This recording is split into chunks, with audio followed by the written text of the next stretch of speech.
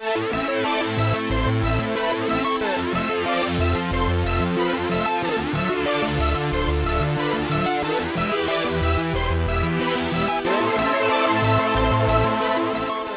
up, world? We're gonna take it back with the fundamentals, man. It's me, Coach Tunde, my young son Tayo, all right, veteran camper.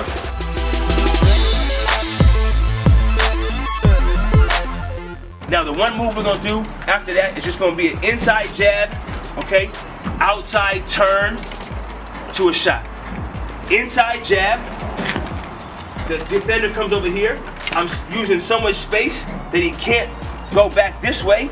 So instead of turning inside, he's actually going to turn outside and go right in there for a shot. Okay? It's called an inside jab to an outside turn shot.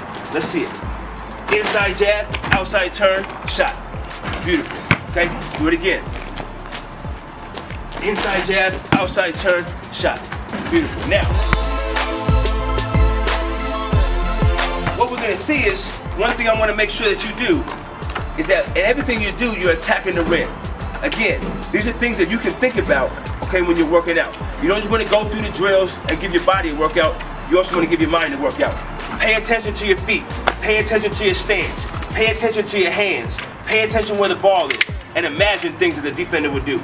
When he inside jabs and he turns, freeze. You can notice his foot is pointed towards the rim.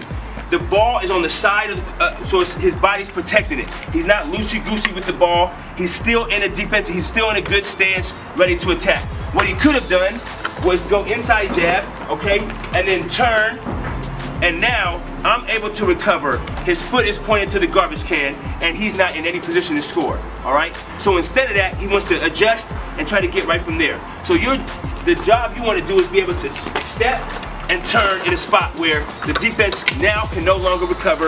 You have an open lane to the basket and you're able to do your thing, okay? So that's the move. I mean, the things you need here, all right, to make this move work are number one, space. Number two, some feet that work, and that's it. Now, if you have it, optional things, bring in a hoop. If you have it, bring in an old mom or an old dad or a baby sister to come over here and, and, to play some defense on you. And if not, use your mind, imagine those things are there, imagine defender, and think about yourself. Imagine yourself using these moves to do whatever you want to do on the, on the court. If you take these moves of the month, you apply them to your game, you practice them regularly, you're to transform. The game's to become easy, and I can't wait to watch your career. Peace out, world.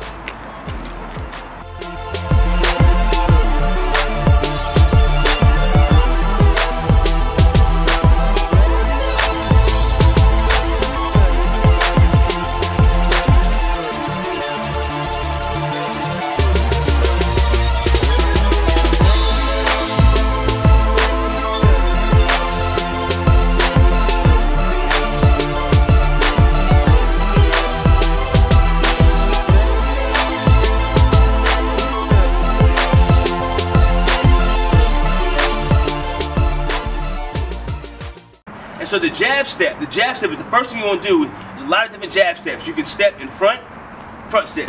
You can step inside. You can do a quick jab, long jab, inside jab, outside jab.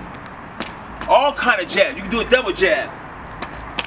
These are all type of jabs. One thing you want to notice about the jabs that Tayo is doing is, first thing first is you have a pivot foot. You have a pivot foot. What a pivot foot means is it's one foot that you're able to move around on and it prevents you from having a traveling call. Okay, this foot right here, his left foot, is his pivot foot. It remains steady on the ground every single time he does a jab. Go ahead, do a jab. Now, what you can be able to notice is that if he's able to effectively use the jab, he can misdirect me, which means he can direct me to a place that he wants me to go in order for him to make a move. All right? If he wants me to go inside and set up, boom. Now, if I don't step, if I don't step in that direction, good shot, boy. If I don't step in that direction, he can simply go by me. So if I don't move, okay, he can easily go by there and, and, get himself a little shot if he can make a layup. All right? Now notice that the ball is always right there, held tight. Okay, his hands are on it firmly. Okay, his uh, fingers are spread apart. He has the ball close to him. It's not out where I can get it. If I come and try to get it, okay, he's going to be able to incorporate a rip through. Underneath my hands, rip through. Underneath my hands. His, his knees should be bent. He should always be in a triple threat position, which is something that we've taught before. All right, his chest should be up, his knees should be bent. He should be in what we call attack move. Ready to attack with the dribble, ready to attack with the pass, ready to attack with the shot. That's triple threat. Three things you could do.